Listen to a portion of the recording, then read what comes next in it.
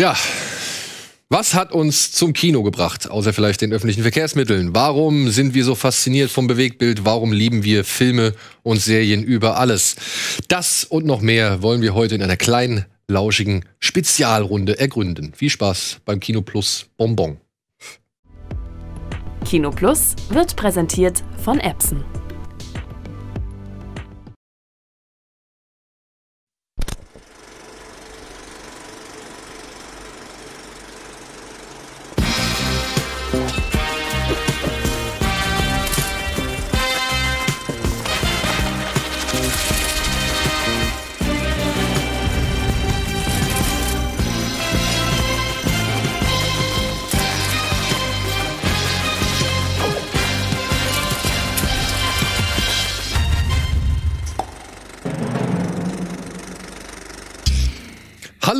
Hallo und herzlich willkommen zu einer etwas anderen Ausgabe von Kino Plus. Zur wahrscheinlich persönlichsten Ausgabe aller Zeiten, die wir hier jemals abgefilmt haben. Geht's? Ja. Ja?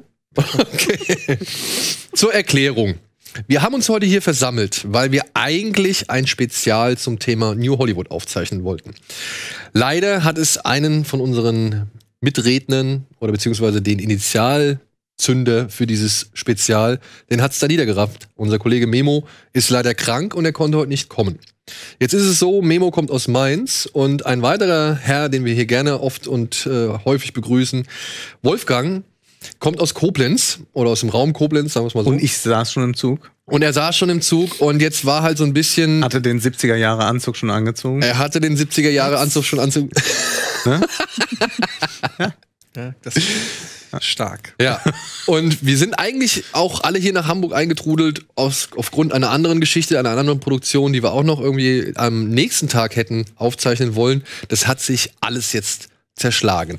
Und deswegen haben wir gedacht, bevor Wolfgang jetzt wirklich ganz umsonst nach Hamburg gefahren ist und nur The Irishman hier im Savoy-Kino guckt, Vielleicht noch eine Runde in der Alster drehen oder so. Aber genau. das wäre aufopferungsvoll, wenn Ja. Irishman nur im Savoy in Hamburg liefe, Ja. von Koblenz Um nach 6 Uhr Hamburg nur morgens, für ja. diesen Film nach Hamburg zu das fahren. nennt man Hingabe. Den wahren Cineasten erkennt man an der Bahncard 50. Ne? Ja. Ja, und weil das halt alles dann nicht so ganz wirklich hingehauen hat und wir gesagt haben, ey, ohne Memo wollen wir es dann auch tatsächlich nicht so wirklich machen, haben wir beschlossen, ein Thema oder beziehungsweise eine Gesprächsrunde ins Leben zu rufen, die Antje mal angeregt hat. Genau, Ne? das war mal, als es auf der Kippe stand, dass Filmfights nicht stattfindet, später stattfindet, war, da war ganz viel von ein paar Wochen und Monaten irgendwie mal so in der Schwebe. Und da hatte ich einfach so angeregt, wenn wir so, eh sowieso gerade alle hier sind, das war, glaube ich, auch in dieser Konstellation, dann lass uns doch einfach irgendwas aufzeichnen. Zum Beispiel, wir könnten über unsere privaten Kinogeschichten und wie wir zum Kino gekommen sind und so weiter reden. Das hat sich Wolfgang gemerkt und deshalb hat er das vorgeschlagen, heute dann eben zu machen. Und das kam allgemein ganz gut an. Ja, und deswegen wollen wir heute einfach mal einen lockeren Plausch starten, wie das Geht Ganze. es um Kino oder geht es um Film? Ich glaube, es geht um beides. Ich Ja. glaube, das voneinander zu trennen wird schon schwer sein. Ja, gut, weil ja schon, also bei mir in meinem Fall es schon so ist, dass äh, Film was my first love, würde Ja. ich sagen. Und Kino kam dann erst eigentlich so, dieses Kino-Ding kam eigentlich erst ab einem Alter, wo man dann auch alleine ins Kino gehen durfte, fing das erst so an, weil das so das erste Event war, was man als Kind einigermaßen selbst initiieren konnte. Du bist ja noch nicht irgendwo auf Partys oder Discos oder so gegangen, aber wenn du deinen Eltern gesagt hast, Ich geh ins gehe ins Kino mit einem Freund, das durftest du. Dann bist du wirklich mit deinem Kumpel alleine, hast Geld an der Kasse. Das, hat, das hatte einen Eventcharakter und das kam aber erst später. Die, die Leidenschaft für Filme kam schon halt früher. Aber kamen die direkt mit Filmen oder weil das muss man ja auch dazu sagen. Ich weiß jetzt nicht, inwiefern eure Eltern euch an das Medium rangeführt haben oder was sie euch früher alles erlaubt haben. Aber wenn ich jetzt so mal im wirklich alten Gedächtnis von mir krame, dann muss ich sagen, sind so die ersten Bilder, die mir im Kopf vorschweben, sind tatsächlich so Zeichentrickserien auch. Ja? Also so wirklich sowas wie Captain Future oder Biene Maya und so Sachen. Und ich wüsste jetzt nicht, ob ich einen Film davor wirklich schon gesehen habe. Wenn du verstehst, was ich meine. Ja, also gut, ich war glaube nicht das erste, was ich gesehen habe, aber wahrscheinlich nicht direkt ein zweistündiger Film oder so. Ja. Also klar fing das bei mir mit Serien an, die dann irgendwie im Vorabendprogramm oder Sesamstraße oder irgendwie so, also das Medium Fernsehen war natürlich war schon vorher da. Ich erinnere mich, dass ich viel Tom und Jerry geguckt habe tatsächlich. Das war als Kind, äh, ich weiß, das, wenn man sich das heute anguckt, ähm, denkt man sich so, wow, das ist ja Hart. Ganz schön hart, ja. Aber Tom und Jerry war ein Thema. Ciao Marco, ich weiß nicht, Oh, ob das ciao, Marco, kennt. super. Ja. Ciao, ciao, Marco. Kenne ich gar nicht. Ich auch nicht. Und Das ist eine wirklich todtraurige Anime-Serie über einen kleinen italienischen Jungen, der alleine, wirklich alleine von Italien nach Argentinien reist, um seine Mutter zu finden, die dorthin ausgewandert ist. ja, das, äh, was gab's noch hier ähm, mit dem Koala-Bären Tau Tau? Kennt ihr das noch? Das war der Panda-Bär, Der? Panda-Bär, Koala-Bär. Panda-Bär, ja. Also so Kinderserien habe ich natürlich geguckt, was es halt damals gab. Spaß am Dienstag, Western von gestern. Weiß nicht, ob das Danger Mouse, Danger Mouse. Fury. Aber dann kam schon dadurch, dass meine, wir haben das ja auch schon mal, glaube ich, in unserem Videotheken-Kultur Almost Daily gesprochen. Meine Eltern sind geschieden.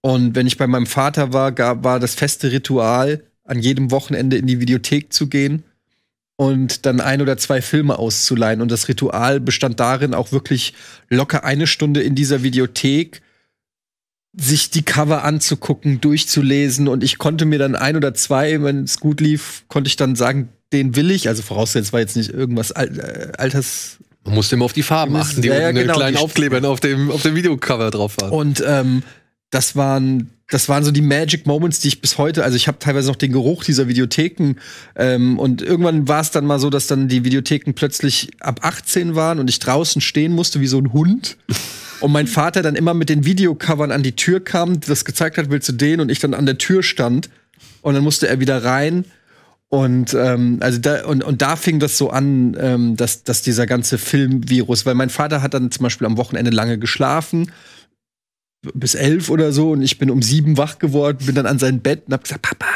darf ich was gucken? Und er, äh, so, und dann bin ich an den Videorekorder und hab da dann, äh, der hatte halt ein paar VHS-Tapes mit irgendwelchen Filmen und da war dann halt Zurück in die Zukunft und Star Wars und da, ich glaube, in der Zeit habe ich, glaube ich, 30 Mal Zurück in die Zukunft 1 geguckt. Weil das halt, das ist so ein Zeit, weil ich fast jedes Wochenende geguckt habe und immer wieder drauf gefreut habe. Ich kann mir das gar nicht erklären, wie man so oft dann heutzutage noch einen Film guckt, aber damals war das jedes Mal rein und wieder drauf gefreut. Und wir so- hatten ja nichts. wir hatten ja nichts, ja. Und so, und so, fing, das, so fing das dann, glaube ich, bei mir an einfach. Und das war halt die komplette ähm, ja, Verein, also da, das war natürlich Anfang, Mitte der 80er. Ich bin 78 geboren, also ich war quasi als dieses ganz, als das rübergeschwappt ist, Coca-Cola. Dann in Frankfurt, wo noch, ähm, Frankfurt war ja stark besetzt von, von den Amerikanern. Äh, wir hatten eine PX, mein Vater hat in der PX eingekauft, in so einem amerikanischen ähm, Kaufhaus äh, sozusagen. Ähm, es gab amerikanische Videotheken in Frankfurt ohne Ende für die ganzen stationierten GIs, wo du aber auch als Deutscher zum Beispiel dir einen Ausweis machen konntest und dann lief im Kino, lief, weiß ich nicht, Rambo und in der Videothek gab's Rambo. Ja, also das war schon äh, und und und ähm, ich wurde sehr stark, habe ich auch schon häufiger erzählt, sehr stark amerikanisiert. Äh, Das ist alles rübergeschwappt. Coca-Cola, Skateboards, BMX-Räder in den ganzen 80s-Filmen, diese ganzen Amblin-Filme, BMX-Räder, Jungs auf Skateboards, ähm, Star Wars, Nintendo und so weiter. Also das ist alles so mit diesem neuen Kapitalismus rüber nach Amerika gekommen und ähm, hat mich als Kind halt komplett umgehauen und ähm, bis heute natürlich beeinflusst. Deshalb habe ich auch so eine Liebe für diese, fürs, für die 80s-Filme und so und hat mich, glaube ich, also das ist so mein, so hat mich der Virus gepackt. Wie war es bei dir? Ganz anders. also bei einigen Kleinigkeiten gehe ich mit. Also ich habe ähm, auch, was glaube ich jedes Kind macht, mit Kinderserien im Fernsehen angefangen. Ich bin aber keiner von denen oder keine von denen, ich habe nie Animes geguckt. Ich habe einfach dieses typische, was ich sehr oft höre, auch gerade von Leuten in meinem Alter, dieses, man kam nach der Schule nach Hause und hat dann das, was war's, das Vormittagsprogramm von RTL 2, glaube ich. Das sagen immer viele, wenn die das dann Das war bei uns Tele 5, aber ja. oder so. Genau, das habe ich alles nicht gemacht. Bei mir war tatsächlich, ich erinnere mich noch, es gab jeden Tag um 18 Uhr lief immer irgendwas beim im NDR. Das war, glaube ich, jetzt kommt's mir alles wieder.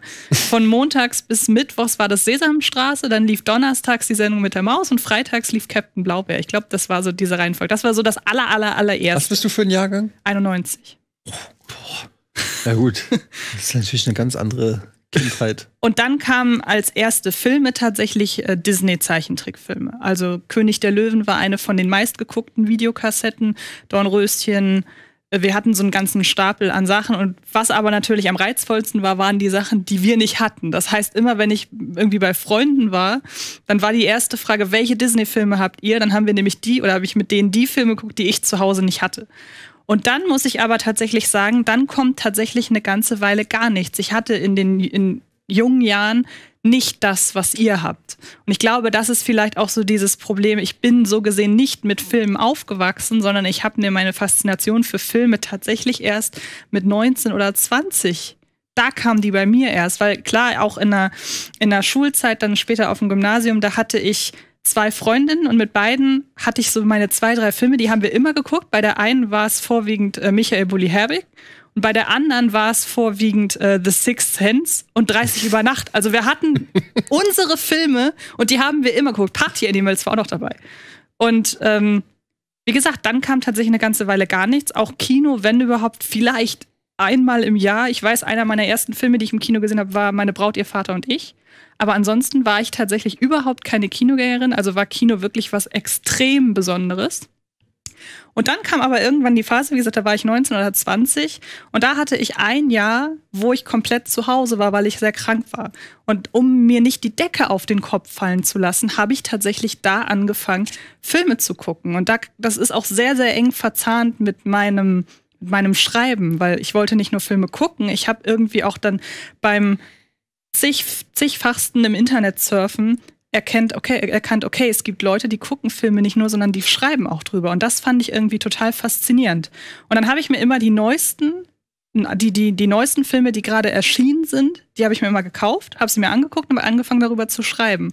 Und deshalb sind so gesehen die Filme, die mich am ehesten oder mit denen ich diesen, ich sag mal, Werdegang als Film als, als Filmenthusiast in Verbindung bringe, komischerweise Black Swan und Midnight in Paris. Weil das die Filme waren, die zu dem Zeitpunkt gerade ganz neu rauskamen, die ich mir angeguckt habe und angefangen habe, okay, zu sehen, das ist, da fängt ja diese ganze Brand, Bandbreite von Filmen erst an. Und dann habe ich überhaupt erst so richtig angefangen, Filme zu gucken. Und das ist vielleicht auch der Grund, weshalb ich zum Beispiel sehr viele Klassiker nicht gesehen habe, weil ich keine Eltern habe, die total Filmfanat sind. Mein Vater ist riesengroßer Horrorfan. Das konnte er mir mit als kleines Kind, aber da konnte er so seine Leidenschaft mit mir leider nicht ausleben. Also ich meine, bei ihm fing das dann bei, also bei ihm fängt die Horrorleidenschaft ab Evil Dead aufwärts an. Ähm, ich weiß, dass meine Mutter sehr früh mit mir immer sieben gucken wollte, aber auch dann gemerkt hat, sollte sie vielleicht auch noch nicht machen. Deshalb bleiben wir erstmal bei Disney-Filmen. Und deshalb, ich hatte so diesen, ich hatte auch keine Leute, die gerne Filme gucken, so. Also tatsächlich, so diese ganze Kindheit beschränkt sich auf sechs, sieben Filme, die ich gerade genannt habe, oder meine Jugend so gesehen. Meine Kindheit auf Disney-Filme, meine Jugend auf die Filme, die ich gerade ansprach. Und dann ging das tatsächlich erst los. Und es ist wahrscheinlich ein super weirder Werdegang, wenn man bedenkt, wo ich gerade hier sitze. Aber das ist vielleicht auch mal so ein ganz anderer Ja. irgendwie. Und jetzt gucke ich ja so gesehen alles, was, was ich gucken kann. So. Überkompensation. Ich versuche das jetzt aufzuholen, was mir im Kindesalter verwehrt. Also halten wir schon mal fest. Es ist zum einen vielleicht die familiäre Situation, es ist zum anderen vielleicht das, das freundschaftliche Umfeld. Mhm. Wolfgang, wie war es bei dir? Bei mir fing es natürlich auch erst mit Kinderserien an, vor allem äh, Biene Maya. Ja. Äh, Und es hat mich aber als Kind schon damals natürlich die Musik fasziniert, dass da jemand mit so einem merkwürdigen Akzent singt in einem unbekannten Land. Ja, also das hat mich äh, fasziniert. Unvergessene Karel Gott. Und dann habe ich natürlich noch so ein paar andere Sachen geguckt, habe aber dann sehr früh sehr alte Sachen mir angesehen und ich kann gar nicht genau sagen, woher das kommt. Also ich bin nicht, es war nicht so, dass meine Eltern mir Schwarz-Weiß-Filme vorgesetzt haben und gesagt, so jetzt guckst du die mal, sondern ich bin, hatte eine Faszination für alles, was möglichst alt ist und auch ein bisschen merkwürdig ist. Und ich ähm, habe zum Beispiel mit, mit 10, 11 Jahren habe ich äh, die ganzen Edgar Wallace-Filme, also es sind etwa 36 oder 40, die habe ich alle gesehen. Die wurden ja immer immer bei Kabel 1 wiederholt laufend. Äh, die haben mich fasziniert, weil ich dieses Schauspiel so großartig fand, diese großen Schauspieler in solchen merkwürdigen Rollen zu sehen und äh, dann auch, wie die gesprochen haben. Also dann ist dann der Kinski da, der nur sagt, Import, Export, ja, oder, oder äh, Elisabeth Flickenschild, die dann sagt, ja, ich habe ja eine ganz besondere Idee für Sie. Und also auch das, äh, also diese ganzen merkwürdigen, schrulligen Figuren, die da aufgetaucht sind, die fand ich faszinierend.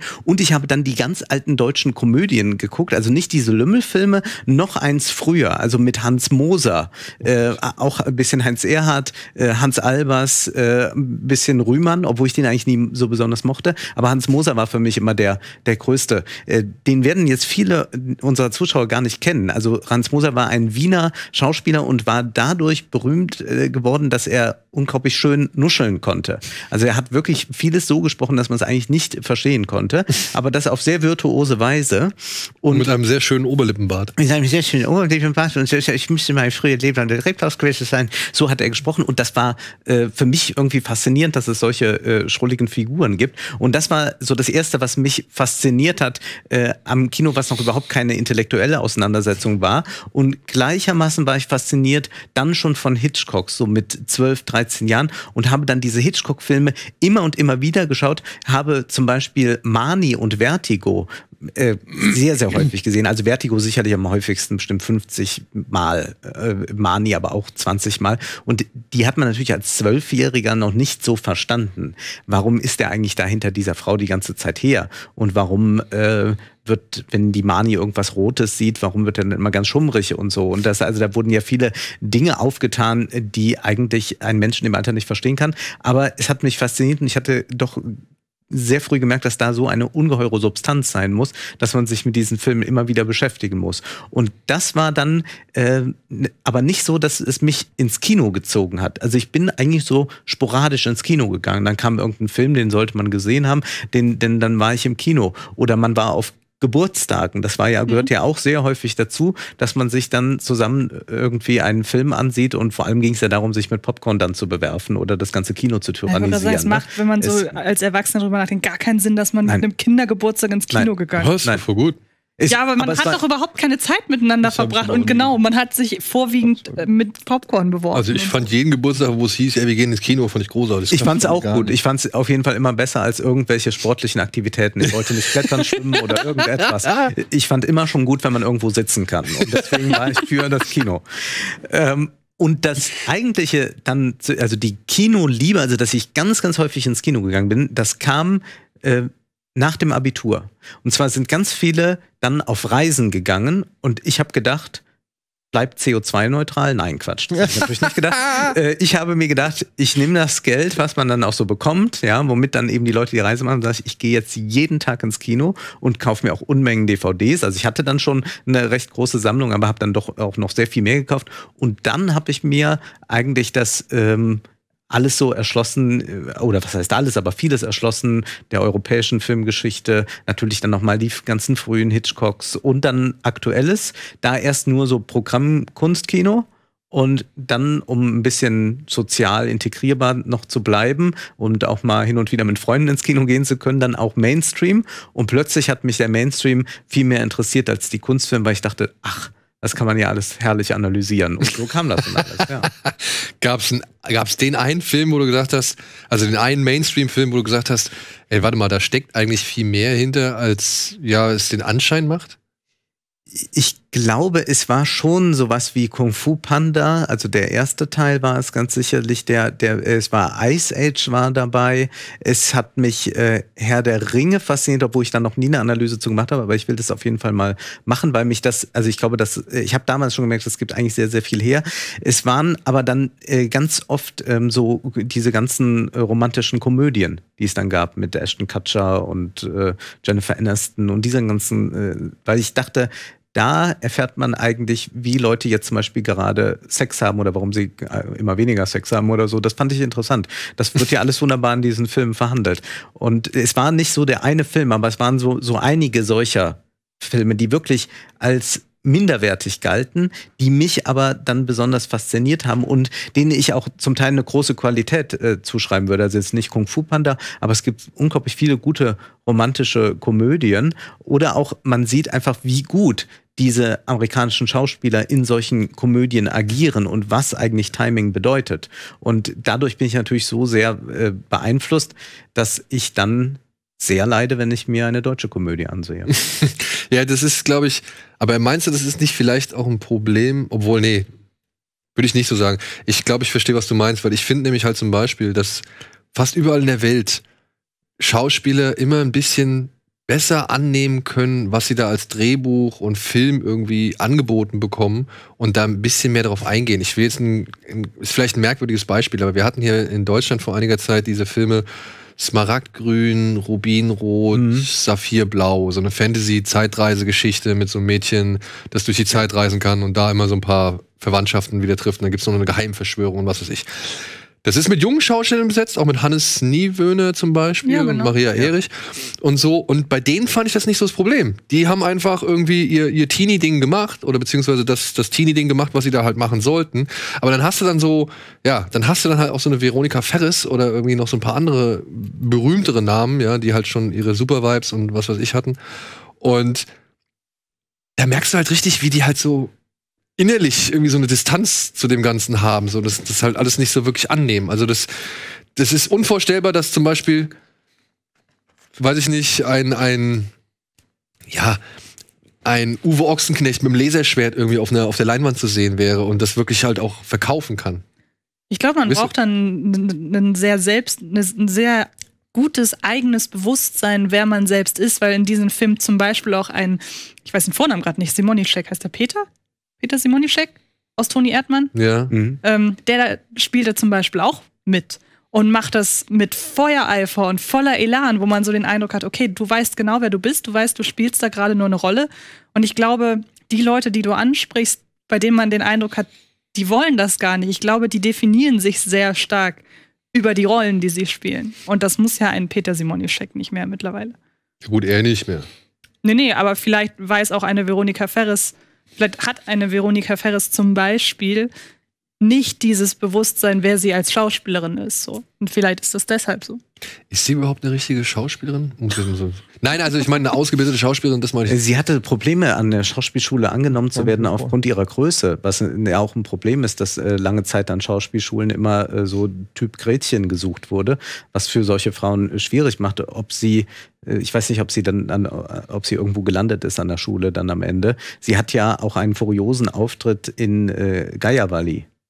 Ja, das ist so ein äh, äh, ganz verrückter Film aus den 80er Jahren, glaube Irgendwie ich. Mallorca. Mit Elisabeth äh, Volkmann auch. Ja, genau. Ja, Die ehemalige Stimme von Marge Simpson, nur mal als kleine Einordnung. ja, ja. Ja. Äh, Ich weiß nicht, ich halte jetzt aber auch, ich glaube auch, eine Schauspielschule hätte vielleicht auch nicht allzu viel gebracht bei äh, Veronika Ferres. Sie, ja, sie ist nicht so interessant. Ich glaube, wir haben halt bei vielen, wir haben kein, keine richtig gute Genre-Tradition mehr in Deutschland. Und das war aber jetzt zum Beispiel bei den Edgar Wallace-Filmen anders. Also bei den Edgar Wallace-Filmen haben ja ganz große Schauspieler, die eigentlich auf der Bühne Goethe, Schiller, Shakespeare gespielt haben, haben, um Geld zu verdienen, sicherlich zum größten Teil oder um ein bisschen populärer zu werden, in diesen Krimis mitgespielt. Und man kann das auch noch ein bisschen dann sehen in so äh, Vorabendkrimis wie Derrick oder sowas, was dann in den 70er Jahren aufgekommen ist, wo auch große Schauspieler mitspielen. Die spielen halt dann irgendwie die Witwe in der Vorstadtvilla, die gefragt wird, hatte ihr Mann Feinde? Und, und die können aber dann trotzdem, auch wenn das sehr limitiert ist, Großes da rausholen. Und das ist, glaube ich, etwas, was man, was wirklich dann Kunst ist, äh, Schauspielkunst ist, dass man auch in solchen mediokren Filmen doch eine ganz, ganz große Leistung abliefern kann. Und das können aber gar nicht so viele. Die werden dann mal stark, wenn sie dann irgendwie eine richtig fordernde Rolle haben. Sie dürfen einen Alkoholiker mit Depressionen äh, spielen, äh, der seinen Hund schlägt. Dann kommen die aus sich raus oder so. Aber es ist eigentlich auch eine große Schauspielkunst aus einer äh, Rolle, die eigentlich nicht so viel hergibt, die man vielleicht nur mit ein paar Schrulligkeiten oder so aufwerten kann, daraus was zu machen. Wer das sehr furios beherrscht, ist jemand wie Udo Kier, der Ja. sich in all das reinstürzt und dann aber doch selbst den winzigsten Rollen. Wir können uns alle erinnern, wie, was der in Nymphomaniac gemacht hat. Wir können uns erinnern, was der in Melancholia gemacht hat. Ja, der, solche Dinge lässt er sich eben einfallen. Zum Beispiel, dass er dann wie so, wie so ein Pferd dann so die Scheuklappen macht, wenn, wenn, wenn er da als Wedding Planner äh, plötzlich nicht mehr gebraucht wird beim Melancholia. Das sind aber solche Details, die es am Ende braucht, äh, womit man dann eine Rolle ausstaffieren kann, die eigentlich recht dünn ist. Und ich glaube, das ist etwas, was die nicht so gut können, während wir ja bei amerikanischen Filmen, das mir oft äh, häufig so geht, dass dort auch die Bissen, die kleinsten Rollen gut besetzt sind, aber auch diese Leute dann hängen bleiben, die dann da stattfinden. Die ihre ewige, ja, zweite Reihe Ja. Stigmas mit sich rumtragen. Ja, Hier, wie heißt die Dame? Judy Greer zum Beispiel, ja, die ewige Nebendarstellerin, spielt nur Mütter und Schwestern oder sowas und äh, hat selten eine Hauptrolle irgendwie bekommen. Oder auch hier, wie heißt der große James Cromwell, der bei zum Beispiel LA Confidential den Polizeichef spielt oder so, der halt immer die gleichen Typen spielt. Ja. Und aber auch immer nur irgendwie eine Nebenrolle hat. Schweinchen namens Babe mal ausgenommen, da spielt er die Hauptrolle. Aber da gibt es halt auch, wie gesagt, das Schwein. Und das ist auch dann im Zentrum des Films. Aber auch Nebenrollen können ja gut sein und interessant sein. Also ich glaube, bei vielen Schauspielern ist es nicht so schlimm, dass die jetzt keine Hauptrolle haben. Man hat auch, es gibt auch Schauspieler, die nicht so interessant sind, dass man sie vielleicht zwei Stunden lang sehen will. Aber in diesen kleinen Miniaturen, die sie da abliefern, da sind sie richtig stark. Und das ist eigentlich so toll an diesen äh, deutschen Komödien auch von früher, dass die einfach besetzt waren bis, bis in die, in die dritte Reihe mit eigentlich äh, guten, äh, guten Schauspielern, die daraus was machen können. Also selbst die Lümmelfilme. Genau, selbst die Lümmelfilme, wollte ich jetzt sagen. Ne? Da steht dann halt auch mal so ein Theo Ling Ja. als, als Schuldirektor Ja. da am Pult. Ne? Ich würde sagen, wir gehen einmal kurz in die Werbung und melden uns gleich wieder zurück mit ein paar ja, Anekdoten aus der Jugend.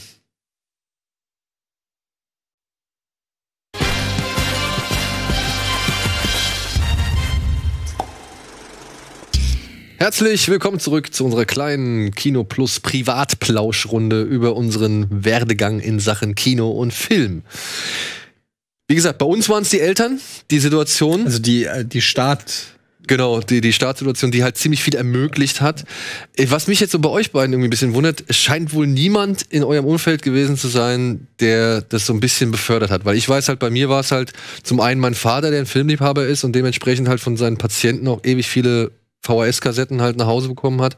Du sagst, du hast dann mit DVDs schon angefangen zu sammeln, ne? Also du hast ähm, und es waren aber wohl nicht so die Freunde, die dann im Umfeld waren, die gesagt haben, ey, wir wollen heute mal das machen oder den gucken oder was. Also ich weiß nur, bei uns im Umfeld oder bei mir, das war, da war jeder Stier auf den neuen Film oder auf den nächsten Film so. Also da, da wurden dann irgendwie Cheech und Chong Abende gemacht und, und keine Ahnung, dann haben wir uns ähm, Fort Fairlane irgendwie zigfach reingezogen. Wenn es hieß, hier, da und da ist ein neuer am, am, auf, auf VHS endlich rausgekommen, dann haben wir uns, da hat irgendeiner den besorgt und haben uns abends getroffen und haben den geguckt. So. Also bei uns war auch der Freundeskreis auf jeden Also ich hatte so nicht viele, aber ich hatte so zwei, drei Freunde, mit denen ich diese, das wirklich zum Hobby wurde. Wir sind zum einen, ähm, da war ich glaube ich ab 15 oder so, sind wir immer in die Sneak jeden Montag. Das war ein festes Ritual.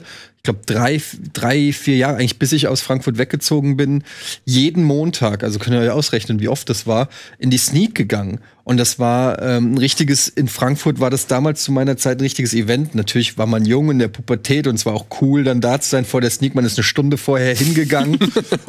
um alle standen äh, vor, vor dem Kino, haben miteinander gelabert und so. Aber ähm, ich glaube, 80 Prozent der Leute sind eben wegen dem Treffen davor hingegangen. Ich, war wirklich einer derjenigen, der ähm, wegen dem Film hingegangen ist. Und es war das Problem, das ist echt eine True Story. Ähm, irgendwann haben sie, hat sich's rumgesprochen, es waren immer mehr Assis, wie wir in Frankfurt sagen, ähm, da. Und dann äh, haben die einfach den, den Film gestört. Also wirklich übertrieben Ja. reingerufen, Popcorn geworfen. Und dann hat sich das so gespalten für die einen, die da wirklich nur hingehen, um Party zu machen. Und die Leute, die den Film gucken wollten. Und dann haben die eine OV-Sneak eingeführt. Und in der OV-Sneak waren nur Leute, die Bock auf den Film hatten. Da war niemand, der, also, weil die meisten, die äh, Idioten halt das wahrscheinlich auch nicht, die Sprache nicht gesprochen haben. Keine Ahnung. Ich, es, es war wirklich so. Und dann äh, sind wir halt in diese OV-Sneak gegangen. Und da habe ich halt wirklich ganz viele Filme. Du wurdest ja in der Sneak sozusagen gezwungen, Filme zu gucken. Erstens war das sowieso damals eine andere Zeit, weil kein Internet oder so. Klar, es gab die Cinema oder weiß ich nicht, die TV-Spielfilme oder Kino. so. Ja, aber im Prinzip haben wir auch schon mal gesagt, bist du in einen Kinofilm gegangen, weil du das Filmplakat gut fandest oder vielleicht im besten Fall den Regisseur äh, kanntest oder wusstest, der hat schon mal irgendwas gemacht oder so oder ein Schauspieler. Damals stand Schwarzenegger ja für ein gewisses Genre sozusagen. Also wusstest du, du wusstest jetzt vielleicht nicht genau, was ist es. Dementsprechend enttäuscht war es dann bei Last Action Hero so ungefähr, weil es nicht, weiß ich nicht, war, äh, was Wo der war. kam nach Terminator 2, ne? Also, Ja, eben. Aber du bist ins Kino gegangen und in der Sneak wurdest du einfach mit Filmen konfrontiert, die ich vielleicht nie geguckt hätte. Zum Beispiel Rossini habe ich in der, in der Sneak gesehen. Das wäre jetzt wahrscheinlich kein Film gewesen, wo ich jetzt äh, gesagt hätte, weil ich weiß gar nicht, wann das war, wann, 93, 94, wann kam der raus? Da wäre ich jetzt wahrscheinlich nicht direkt äh, so reingegangen. Oder auch ähm, äh, hier ähm, From Dusk Till Dawn habe ich in der Sneak gesehen. Oh. Und das war so ein prägender Moment auch für mich, weil ich nichts wusste. Ich wusste nicht, wer Robert Rodriguez ist. Tarantino sagte mir auch nicht so wirklich was. Ich weiß nur, ich fand diese erste Szene in der Tankstelle, die hat mich total umgehauen. Ich fand die mega cool. Ich habe gedacht, so was Cooles habe ich ja noch nie auf Leinwand gesehen, wenn die dann da so cool weglaufen, die Tankstelle explodiert da hinten. Und dann dieser Road-Movie und ich war richtig gefesselt und dann kommen auch noch Vampire und es wird also ich war völlig weggeblasen von diesem Filmerlebnis. Ja, ich konnte überhaupt nicht fassen, was ich da gesehen habe. Und da fing das dann auch an. Plötzlich kam ein DVD-Player und dann ähm, fing es auch an, dass ich ähm, einen DVD-Player hatte, dann in die Videothek gegangen, dort dann auch wieder äh, Filme ausgeliehen und dann habe ich irgendwann auch angefangen, DVDs zu sammeln. Und davor war es in meinem Freundeskreis schon so, wir haben die Filme aufgenommen auf VHS und haben die ähm, im Regal gehabt und haben dann so Buch geführt. Wir haben dann diese Aufkleberchen, die es bei den VHS-Kassetten gab. Da gab es ja immer so einen Aufkleber. Äh, Zwei lange, zwei, äh, ein, ein fetter. genau, mit für 1, oben 2, 3, 4, 5, 6, 7, 8, 9. Ja. Und dann haben wir dann A1 und dann hatten wir so ein, so ein Heft und da stand dann A1 Indiana Jones. A2 Terminator und so. Dann hattest du so das Heft und mein Nachbar, äh, ähm, der Göster, Grüße, ähm, der hatte halt auch so ein Heft. Dann hat er mir das Heft geliehen und dann konnte ich so gucken, was er für Filme hat. Und dann habe ich gesagt, oh ja, dann leih ich mir mal A7 und A8. Und dann ist er da an sein Regal gegangen, hat A7, A8. Und das war so ein richtig, ähm, man hat, also das war, da war schon viel Leidenschaft auch im Freundeskreis dabei, was einen dann noch so zusätzlich angefeuert hat. Nee, das war bei, bei mir überhaupt nicht. Also es sind hin und wieder mal Leute mit ins Kino und manche haben auch ganz gerne Filme gesehen. Aber eigentlich war diese Leidenschaft nicht so da. Das liegt sicherlich auch daran, dass das Kino ähm, auch an Einfluss da schon verloren hatte. Also das ist ja auch einfach zu konstatieren, dass das in den 80er Jahren zum Beispiel noch was ganz anderes, einen ganz anderen Stellenwert hatte. Auch wenn die Videotheken da schon florierten, war doch ähm, das Kino im allgemeinen Gespräch sicherlich noch mal dominanter da. Und bei mir war es allerdings auch so, dass ich zum Beispiel jetzt dann nach dem Abi unglaublich gerne alleine ins Kino gegangen bin. Ich weiß nicht, wie das mit bei euch ist. Also wir müssen ja manchmal für Pressevorführungen gehen wir ja alleine. Aber geht ihr auch freiwillig gerne allein ins Sehr Kino? gerne, ja. Ich glaube, an einer Hand abzählen, wenn überhaupt. Ich glaube, ich war vor zwei Jahren oder wann war das? Ich zum ersten Mal überhaupt allein im Kino. Da haben wir dich Echt? doch sogar, das war bei Nee, Spider-Man, das, das ne? war aber dieses War Jahr. das- war dieses, Jahr, bei Nee, Spider-Man. nee, War das dieses Jahr oder letztes Du Jahr? bist allein bei, du bist allein Ich zu wollte Spider-Man. einmal gehen Ja. und ihr ja, weil ich niemanden gefunden habe, der mit reingeht, weil ich wollte den Film unbedingt im Kino sehen.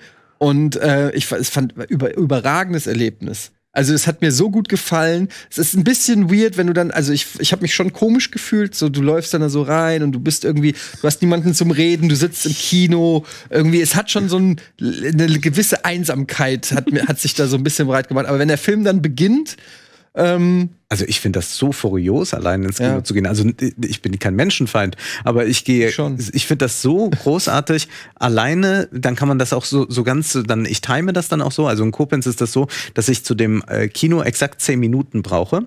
Ich buche die Karte also online und fahre drei Minuten bevor das Start, äh, Start ist, fahre ich los. Dann sind die ist die Werbung schon mal durch und dann komme ich mit den Trailern in den Saal. Interessant. Das finde ich zum Beispiel ganz herrlich, dass ich da gar nicht anstehen muss oder irgendwas machen ich muss. zum Beispiel Riesenfan von der Werbung. was man mit, ne, ja, aber ich finde, wenn man jetzt so 100, 150 Mal im Ja. Jahr im Kino sitzt, dann freut man sich nicht mehr darüber, dass aus wenn man dieses Eis isst, dass man dann zu einem Tiger wird oder so. Das finde ich dann nicht mehr so wow.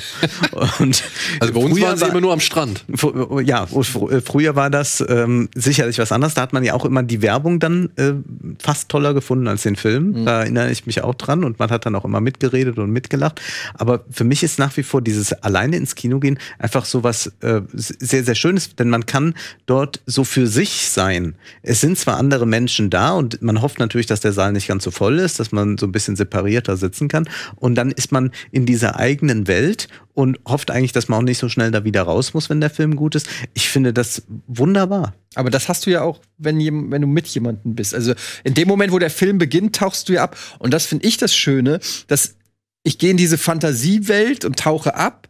Und wenn diese Fantasiewelt beendet ist, habe ich aber direkt jemanden da, mit dem ich diese Erfahrung teilen kann. Ich weiß, ich habe das früher geliebt. Das war eigentlich gehörte zu jedem Ritual dazu nach dem Film. Das ist ja heute auch noch immer so. Man kommt raus, guckt sich direkt an und es bildet sich so direkt ein Kreis und Heutzutage ist es nicht mehr ganz so extrem, weil man es mehr auf sich wirken lässt und so, aber früher wurde dann direkt diskutiert. Und hat der nicht, wieso hat denn der das weißt du noch und der hat doch den und wieso habt ihr das verstanden und der ist doch unter und wieso ist denn der nicht? Also ich fand das immer auch direkt dieses darüber reden. Bei mir hat sich immer schon dann direkt so der Wunsch gemacht, ich muss in irgendeiner Form das Gesehene mit irgendjemandem teilen oder mich mitteilen über meine Gefühle, die das ausgelöst hat. Deshalb war ich auch immer in Filmforen, im Internet, in Diskussionsforen. Ich, das musste immer raus. Ich wollte auch immer überprüfen, ob meine Gefühle, die ich empfunden habe, richtig sind, ob Ja. ich den Film richtig verstanden habe oder wie andere das sehen und interpretieren und so. Ich finde, da hat sich auch tatsächlich so ein bisschen das Drumherum ein wenig geändert, weil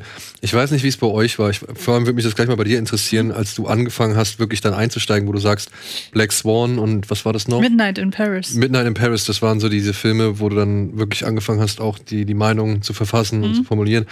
Ich bin tatsächlich durch zwei Errungenschaften, sag ich mal, in, in, in den noch stärkeren Bann des Films oder des Medium Kinos oder Medium Film geraten.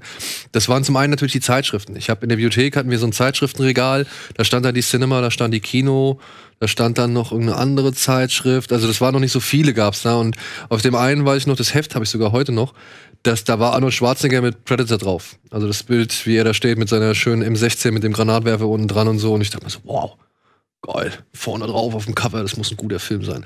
Und dann habe ich mir das alles durchgelesen so. Und dann gab es dann auch, und dann habe ich gemerkt, okay, der erzählt jetzt in seiner Besprechung, erzählt er über den und den Film. Und das hat der und der schon gemacht. Und auch, das haben wir schon bei Truffaut gesehen und was weiß ich so, ne? Und Predator. Nein. ich habe mir nur den Artikel, nicht nur den Artikel zu Predator durchgelesen, sondern auch alles andere so. Das wäre ein interessanter Ansatz. Wo könnte man Truffaut da einbauen? Na gut. Und da war das aber immer so, die haben alle, die wissen alle, die haben alle schon mehr gesehen als ich. Und deswegen verstehe ich das nicht so, wie die das meinen. Ja. Und deswegen muss ich wohl genauso wissen wie die. Also genauso viel wissen wie die. Und hab mir dann irgendwie auch diese Hefte geholt. Tausend, ich weiß noch, ich habe auch so ein Heft, das habe ich auch noch zu Hause. Tausend VHS oder Videofilme, die man gesehen haben sollte oder die man zu Hause haben sollte. Und das war dann hab aufge ja, das war dann aufgegliedert in Familie, Horror, Thriller und was weiß ich. Und da waren die ganzen großen Filme drin, alle. Und ich bin immer durchgegangen, habe mir das alles durchgelesen, habe mir dann eine Liste geschrieben und mit der Liste bin ich dann in die Bibliothek gegangen, weil ich mir gedacht habe, ich muss das und das Silverado und und was weiß ich oder oder hier, wie heißt der mit John Belushi, Real Man, wo, wo er mit den Außerirdischen, weißt du es noch, wo er sich an der Werkstatt diesen diesen John Belushi. ja. Da spielt er so ein, da geht's um so Geheimagenten, die halt irgendwie auch Men in Black schon vorwegnehmen, tatsächlich. Egal. Also, wie gesagt, ich habe mir eine riesengroße Liste erstellt und bin dann halt anhand des Heftes und anhand dieser Liste bin ich halt in die Bibliothek und habe mir das alles so zusammengesammelt, so. Weil, und ich finde, das gibt's jetzt heutzutage nicht mehr so oft. Klar gibt man noch gern mit seinem Fachwissen an und versucht irgendwie so ein bisschen äh, dem Zuschauer irgendwie zu sagen, an was gewisse Sachen erinnern.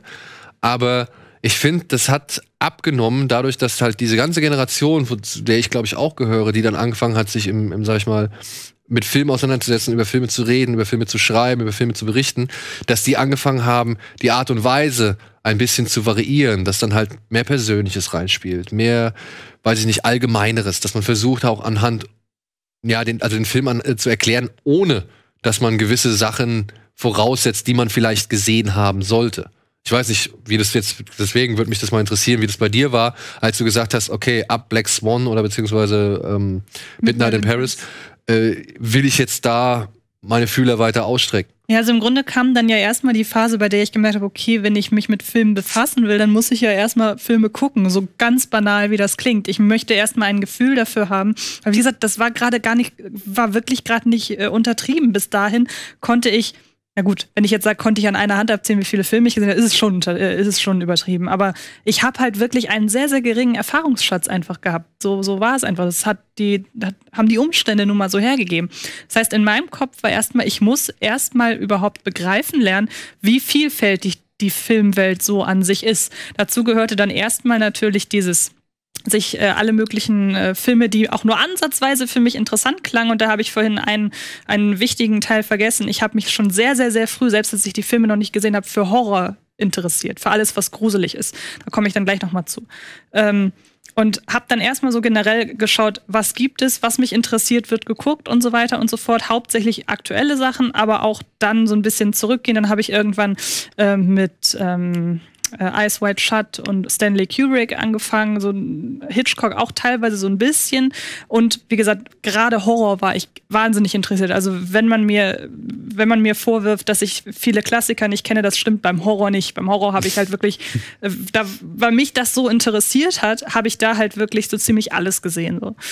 Und Aber dann, also aufgrund von welchen Informationen? Das würde mich interessieren. Also woher kam woher kam, weiß ich nicht, das Bedürfnis zu sagen, ich muss jetzt der Exorzist gucken oder irgendwie sowas? Weil mich Angst schon immer total fasziniert hat und weil mich immer schon total fasziniert hat, wie ähm, Dinge Angst erzeugen. Und da habe ich tatsächlich früher auch viel gelesen. Also ich habe zum Beispiel Shining und äh, wie heißt das? Ähm, äh, das Schweigen der Lämmer gelesen, weil ich sie noch nicht gucken durfte. So, da hat einfach, ich bin auch super gerne früher durch, durch äh, Blu-ray und damals eher noch DVD-Läden und so gegangen und habe mir Horrorfilm-Cover angeguckt, weil ich das total faszinierend fand und mir durchgelesen habe, was sich Leute ausdenken können. Ich werde nie vergessen, wie ich das Saw-Cover in der Hand hatte und mir hinten durchgelesen habe, worum es ging und ich dachte, boah, geil, dass sich Leute sowas ausdenken.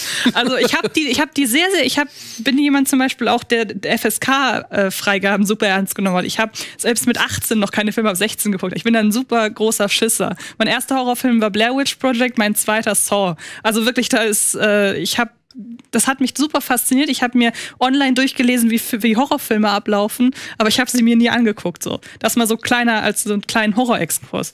Und ähm, dann geht es auch tatsächlich schon in die Richtung, dass ich dann angefangen habe, Kinogängerin zu werden. Dann habe ich mir nämlich, und da komme ich wieder auf das zurück, was du gerade gesagt hast, mit dem alleine ins Kino gehen. Ich habe mir dann so eine Flatrate-Karte geholt und habe dann so eineinhalb Jahre lang wirklich war ich so ziemlich in jedem Film, den ich erwischen konnte. So. Und da das war die Cinemax-Karte, wir haben vier, drei oder vier Cinemax-Kinos in Hamburg, wenn man das Holy mitzählt. Das ist ja, wird ja auch über mhm. Cinemax, äh, geht ja auch über das Cinemax da kann man in eineinhalb Jahren, wenn man keinen Anspruch darauf hat, dass andere Leute mit einem gehen, kann man wirklich wahnsinnig viel gucken.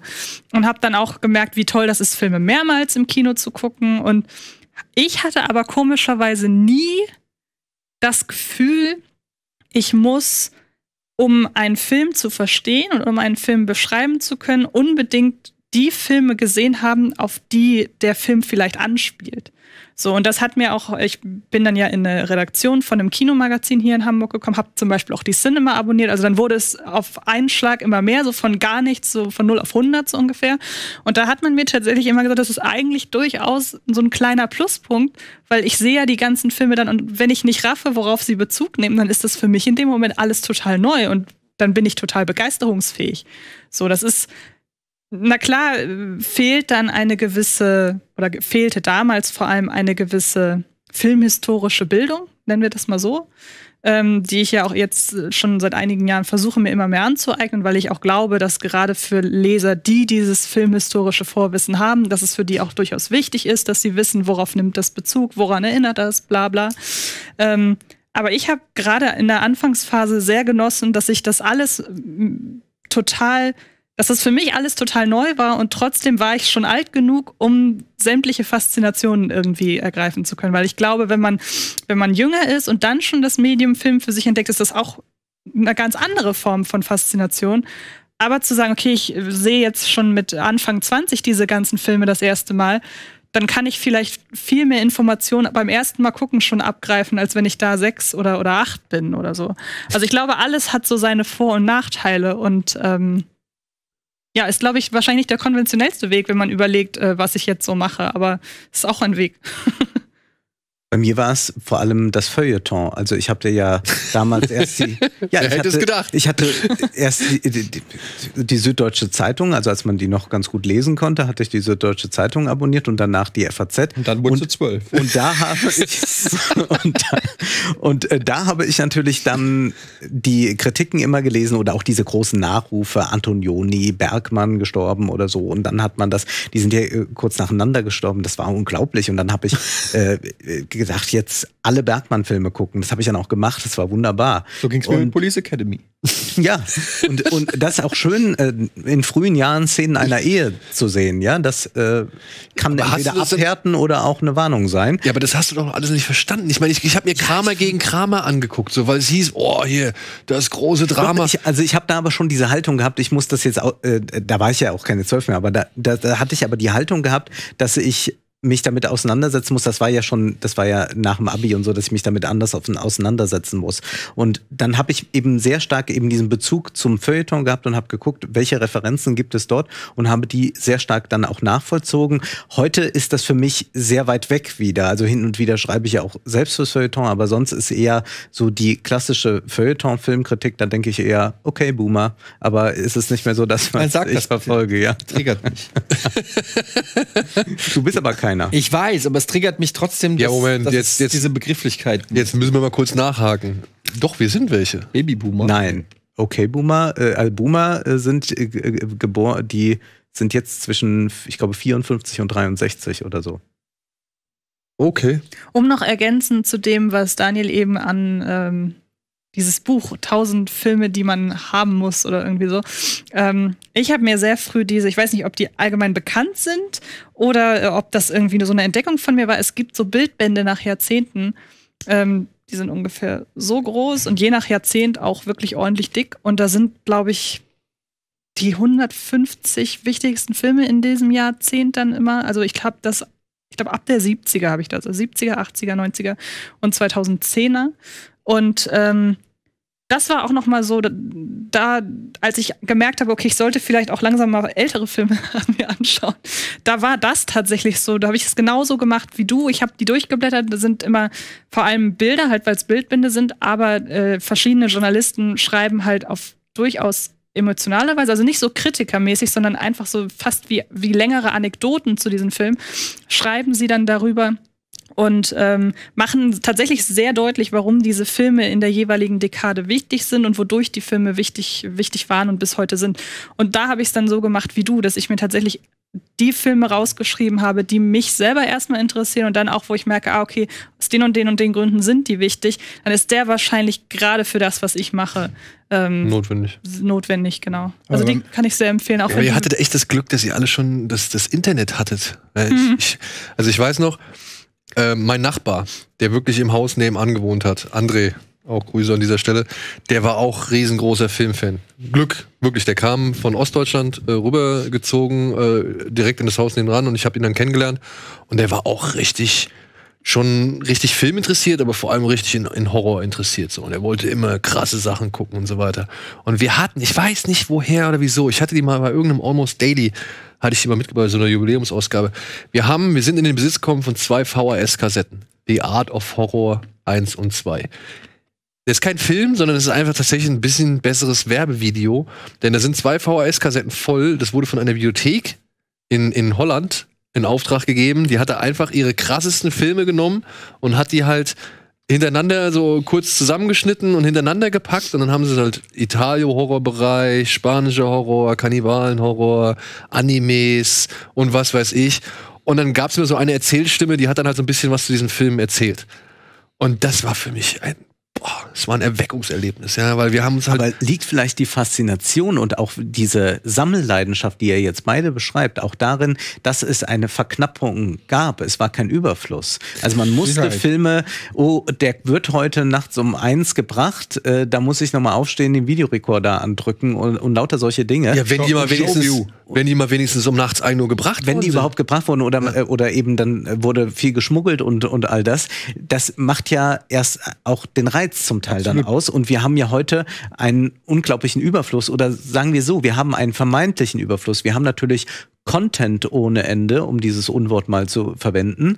Wir können äh, durchstreamen, aber wir finden ganz viele Filme ja auch immer noch nicht. Also gerade jetzt in New Hollywood habe ich vieles auch noch sehen wollen, was ich gar nicht bekomme. Also jetzt nicht für die Sendung, sondern zum Beispiel der Film von Barbara Loden oder so, den bekommst du dann nicht, obwohl das so eine Ikone äh, des New Hollywood ist. Und ganz, ganz viel ist einfach überhaupt nicht präsent. Du kannst es dann irgendwo importieren von weiß Gott woher. Aber damals gab es nicht nur das, war, war es tatsächlich so, dass man eigentlich nicht so viel verfügbar hatte und man sich das erkämpfen musste oder man musste sich dann doch vielleicht schon in die Videothek reinschmuggeln, auch wenn es eigentlich nicht ging und so. Und das hat ja auch einen besonderen Reiz ausgemacht, den man heute nicht mehr hat. Also man hat nicht das Gefühl, man muss irgendeine Grenze überschreiten. Es ist alles so niedrigschwellig, dass man auch sagt, ach, ich habe eigentlich alles da, äh, dann gucke ich doch weiterer wieder irgendeine sinnlose Es Serie. gibt noch einen ganz anderen entscheidenden Faktor, den man auch äh, zum Beispiel bei der Musik kennt. Ich habe das auch schon an anderer Stelle gesagt. Wenn du dir früher ein Album gekauft hast, das irgendwie 30 Mark gekostet hast, das hast du ja rauf und runter gehört. Du konntest, konntest fast jeden Song mitsingen. Ähm, heutzutage, dadurch, dass du ich habe neulich gesehen, was äh, irgendwie die Werbung für Apple Music 50 Millionen Songs gibt es. Wo ich mir auch gedacht habe, ja, wenn es nur 30 wären, würde man da nicht kaufen oder was? ab, ab, wie viel, ab wie viel Millionen Songs würde man denn sagen, na okay, das reicht mir. Aber gut, anderes Thema. ähm, du hast also ein unfassbares Angebot und dadurch auch eine ganz andere Geduld und auch eine ganz andere ähm, Aufnahme. Wenn ich mir in der Videothek einen Film geliehen habe, ich habe mir zum Beispiel aus der Videothek damals geliehen, ähm, auch in der Originalversion, ähm, der talentierte Miss Rip, Mr. Ripley unfassbar langweiliger Film. Zumindest habe ich den so abgespeichert, habe ihn seitdem auch nie wieder gesehen. Äh, ich fand ihn langweilig, aber ich habe ihn komplett Der Roman ist besser. Gut, kann ich nicht, habe ich nicht gelesen, aber ich habe den dann gesehen, aber ich habe natürlich von Anfang bis Ende hoch aufmerksam und habe sogar die Bonusmaterialien, die auf dieser DVD war, auch durchgearbeitet, weil ich habe dafür gezahlt, irgendwie was weiß ich, 5 Mark, 6 Mark für zwei Tage, hatte den da und dann wird er halt auch geguckt. Ja, wenn das jetzt bei Netflix gewesen wäre, hätte ich vielleicht nach 15 Minuten, äh, ist immer noch nichts passiert, äh, pff, weg. Ja. Und das ist natürlich auch, du wirst dann natürlich auch anders konditioniert. Du weißt es vielleicht auch ein bisschen anders zu schätzen. Und zum Beispiel, was auch wichtig war, ist, dass, ähm, dass wirklich das öffentlich-rechtliche Fernsehen, möchte ich an der Stelle auch noch mal sagen, weil man schon auch ein bisschen darauf angewiesen war, was im Fernsehen lief. Und auch dadurch habe ich dann einfach mal geguckt, was ist denn das? Ich habe zum Beispiel, wie, wie heißt der Film? Das ist, ich glaube, der Schrei im Dunkeln. Oder, nee, war so ein, auch so ein Thriller aus den 60ern. Warte. Mit der- Mit der blinden. Lass, wir lassen, wir, wir forschen kurz nach, wir gehen einmal kurz in die Werbung. Warte, bis es dunkel wird? Nee. das ist ein Am Horrorfilm. helllichten Tag. Nee, nicht, Nein. den habe ich da auch, aber auch ein gutes Beispiel, ja. Es geschah immer ganz, kurz bevor du, nicht so ah, hektisch, wir haben eh keine Werbespots. ähm, es geschah im Helllichten Tag, sehr gutes Beispiel. Den habe ich bei meinem, äh, äh, bei meinem Vater damals geguckt, weil er und seine Frau den abends geguckt haben und ich dachte erst so, was ist denn jetzt hier Heinz Rühmann? Und, äh, Gerd Fröbe. Und ja, Gerd Fröbe und dann, und dann auch noch schwarz-weiß, das wird doch bestimmt hochlangweilig. Und am Ende saß ich so da. Ich war völlig geschockt. Ich Ja. war völlig angespannt. Ich fand es so spannend. Und das war mit ein Film, der ähm, mich dann so auf Hitchcock und so gebracht hat, weil ich gedacht habe, Moment mal, diese schwarz-weißen Filme äh, ohne Zeitmaschinen und Laserschwerte, die haben ja ein, die haben ja eine ganz komische Wirkung auf mich. Das hatte ich, hätte ich nie für möglich gehalten. Und plötzlich bin ich in so ein ganz anderes Genre geschlittert und habe plötzlich angefangen, Hitchcock-Filme zu gucken. Und ich war völlig weggeblasen, wie spannend die sind. Der erste Hitchcock, den ich dann gesehen habe, war bei Anruf Mord. Und, und ich bin fast gestorben vor Das ist der Spannung. One-Shot, ne? Oder ist es Nee, das ist der Cocktailverein. Cocktail für ein stimmt. Bro. Ähm, ja, und ich, und ich, und, weil ich habe das auch noch, da war ich vielleicht zehn oder so, und ich habe das aber verstanden. Ja, es war ist ja nicht eine mega komplizierte Geschichte eigentlich, und es war so spannend. Ich konnte es überhaupt nicht fassen, ja. Und äh, und plötzlich hat sich so eine komplett neue Tür zu einem neuen Filmuniversum geöffnet. Und ich glaube, das war für mich auch immer wichtig, dass ich immer wieder und dann irgendwann kam dieses New Hollywood, diese 70er, dann habe ich dann irgendwann äh, habe ich glaube ich French Connection oder sowas gesehen und war war dann dann hat mich da wieder irgendeine Facette oder der Pate, irgendwann der Pate, habe ich gedacht, das ist bestimmt so ultra langweilig, das werde ich nicht mal verstehen wahrscheinlich und dann hat mich das aber so in seinen Bann gezogen, weil da so viel, weil du die, die Szenen waren so lange und ruhig und ich war in diesen Szenen drin, diese Hochzeitsszene am Anfang von der Pate, ja. Das hat mich irgendwann, da konnte ich mich drauf einlassen und habe richtig in dieser Szene gebadet. Und so hatte, so habe ich plötzlich eine Leidenschaft für Filme gekriegt von, und, und, auch Vorurteile abgebaut und habe einfach gedacht, okay, es hat nichts mit dem Alter oder mit dem Budget oder sonst was zu sondern es gibt, es gibt überall gibt es Perlen. Und, und meine Aufgabe ist es sozusagen, die zu finden und zu, zu konservieren. Und, und so habe ich dann versucht, meine DVD-Sammlung aufzubauen, dass ich gesagt habe, ich will alle Filme, die ich super finde, will ich besitzen. Und so wie so ein Vermächtnis irgendwann mal festzurren. Und das war so, ja, deshalb ist es ganz wichtig, dass man unterschiedliche Einflüsse bekommt. Ob durch Freunde, Eltern oder durchs öffentliche Rechtliche. Öffentlich-rechtliche. Ja. Ich würde da gleich auch noch drauf eingehen, aber jetzt mache ich tatsächlich trotzdem einmal Werbung.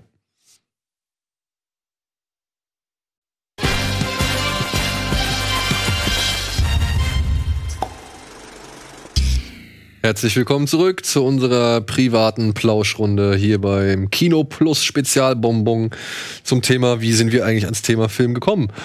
Und warum hat uns das so fasziniert? Eddie hat jetzt endlich den Film gefunden, der ihn damals so fasziniert hat. Warte, bis es dunkel Warte, ist. bis es dunkel ist. Auf Englisch Wait Until Dark von Terence Young. Äh, Musik von Henry Mancini, Mancini ähm, und mit Audrey Hepburn, Alan Arkin. Und ähm, das war ein Film, wo es um Psychopath geht und sie ist blind und ihr Mann ist auf Reise und dann bricht er bei ihr in die Wohnung ein und sie ist plötzlich, ähm, geht das Licht aus in ihrer Wohnung und sie hat dadurch diesen Vorteil, weil sie ist blind. Ähm, und es entsteht so ein Katz-und-Maus-Spiel mit eigentlich einer Frau, die komplett unterlegen ist, weil sie ist blind, sie ist äh, schwächer und der Psychopath ist unmittelbar in ihrer Nähe. Und den habe ich auch geguckt äh, mit 10, 11, 12, keine Ahnung, ich weiß es nicht mehr. Ich weiß, aber der hat so einen bleibenden Eindruck hinterlassen. Und das war dann so eine Phase, wo ich dann halt auch für so, der ist von 1967, also für, für so, so richtige, ähm, solche, ja, Hitchcock-esken oder auch, ähm, ähm, na, was hast du, Ed, äh, Edgar Wallace oder solche Filme ähm, gesehen habe. Bei mir war das tatsächlich noch, noch ein Tick anders so, weil ich meine, als, als ich groß wurde mit den ersten Sachen in Kontakt, da gab es halt drei Sender, ne? Ja. Es gab halt ZDF, ARD und es gab irgendein drittes Programm, was wir halt so hatten.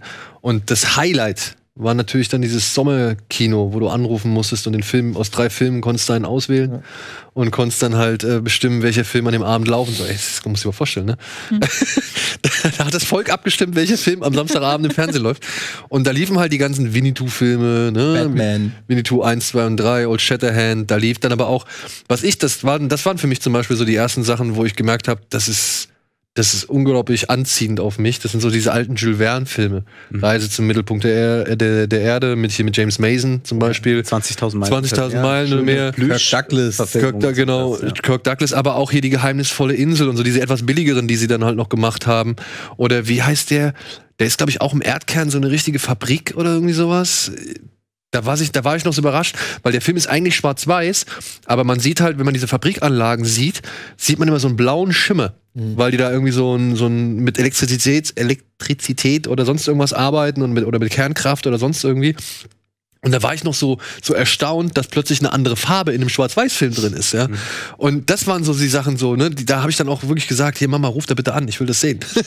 aber auch, weil wir sicherlich alle äh, auch geguckt haben, immer am Wochenende, fast jeden Samstag lief ein James Bond-Film. ja, James Bond war auch Und für das mich. war auch für mich äh, komplett, äh, da- das war ein richtiges Event. Also da- da haben wir teilweise mit der ganzen Familie vom Fer also das kann man sich gar nicht mehr vorstellen, aber da saß wirklich äh, meine Mutter, ihr Freund, meine Schwester und ich saßen vom Fernsehen und haben James Bond geguckt. Und ähm, das war ein richtiges Event. Ja, vor allem James Bond war das, was ich als Actionfilm zuallererst kennengelernt habe. So richtig, also ich meine, sowas wie Stirb langsam und so weiter, alles, das war ja alles noch fernab davon so. Ne? Also das waren meine Actionfilme. Plus dann aber auch sowas wie ja Heinz Rühmann, ne? wenn der Vater mit dem Sohne, habe ich zigfach gesehen, so, weil mein Opa den aufgenommen hat. Oder drei Mann in einem Boot mit Heinz Erhardt. Ohne Krimi geht die Mimi nie ins Bett. So, das war natürlich Ramsey, ja, oder Herr. Genau, genau, genau. Das waren so die Sachen, die dann halt bei uns in der Familie so gerne mal von Oma und Opa aufgenommen worden sind. Mein Onkel Ja. wurde immer geguckt. Oder sowas. Onkel. Oder hier, äh, hier ähm, die Peter Alexander-Filme, Weiße Rössel, hier Tante Charlie oder wie das Ja. hieß und so. Charlies Tante. Ja, Charlies Tante, genau. Und, und das waren so, das war natürlich hier die, dieses das Heiterkeitsprogramm, was bei uns im Hause gerne mal gesehen. Ja, das war ja die Lümmel von der ersten Mal. aus der ersten Reihe. Und, und Deswegen, und da war, da lief dann sowas wie, keine Ahnung, Die werden ja auch im Übrigen alle immer noch ständig wiederholt im Öffentlich-Rechtlichen. Also der, Feuerzangenbowle halt auch. der Sonntagnachmittag im ZDF und ARD ist doch, hat sich nicht so wahnsinnig geändert. Das also da stimmt, gibt's ja. immer noch sehr viel dieser Filme, die natürlich aus so einer Zeit heraus entstanden sind, wo man sich mit der Vergangenheit nicht beschäftigen wollte, der Zukunft aber auch nicht zugewandt war und man sich irgendwie so einlullte in Filme, die von einer Zeit erzählten, die es nie gab. Ja. So. Und das war, also das hat ja eine solche Possierlichkeit auch gehabt, aber es war zum Aber da Teil waren- nicht so schlecht gemacht. aber da waren die Amerikaner auch nicht viel besser. Also ich erinnere Ja. mich auch, also frühe Erinnerungen, die ganzen Elvis Presley-Filme Ja. oder die Esther Williams-Filme. Jetzt mal wirklich, Ja. da werden Filme produziert um einen Schwimmstar. Also eine Ja. Frau, die halt noch nie irgendwie ge geschauspielert hat in ihrem Leben,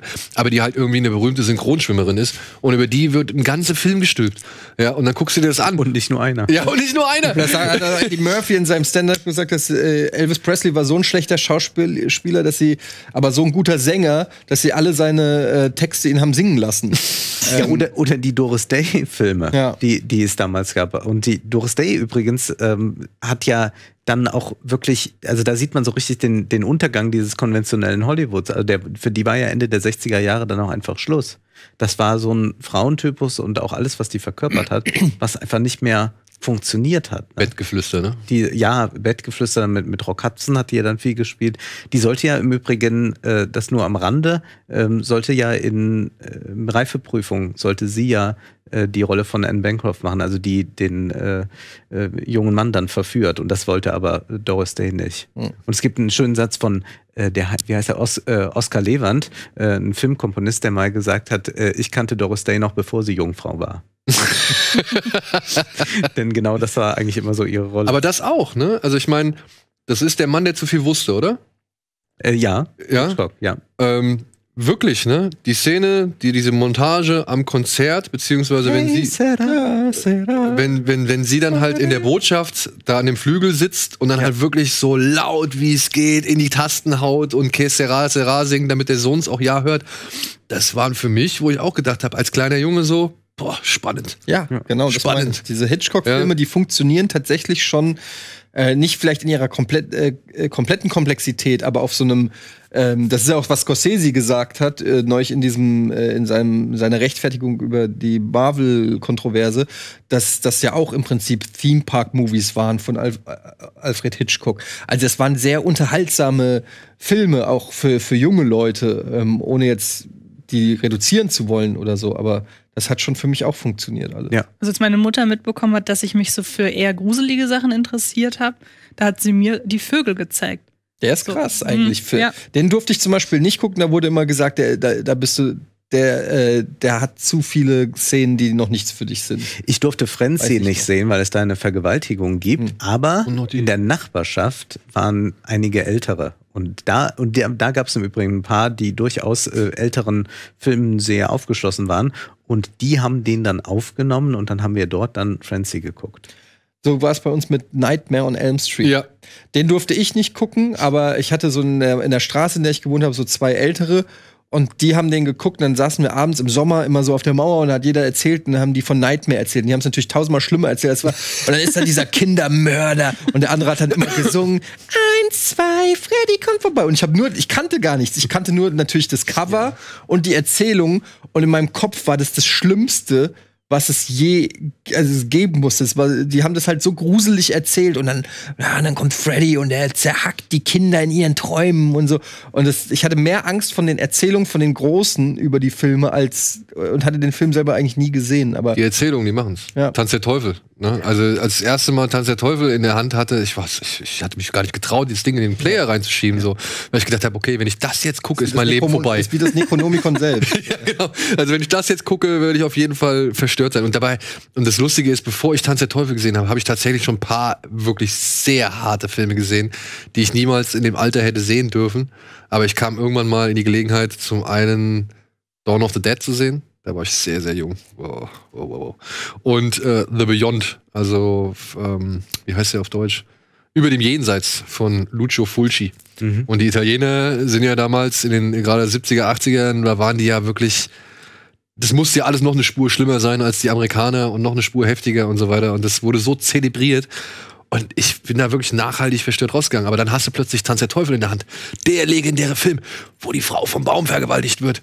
Und, und äh, hier mit dem Bleistift und, und wenn sie ihm die Augen auspulen und was du alles noch alles gehört hast. so. Und dann sitzt du dann davor und denkst dir, hm, ja, ist schon heftig, ne? Ist schon cool, aber irgendwo. Ich habe den gesehen, nachdem ich das Remake gesehen habe. Das, da müssen wir ja ehrlich sein mittlerweile. Das Remake wurde ja zu einer ganz Welches anderen. jetzt das ganz Das von ähm, Evil neue. das, das neue, genau. Also nicht Evil Dead 2. weil nee, nee, das neue. Und das ist ja so gesehen schon sehr auf den Terroreffekt aus. Viel mehr als das, das Original so.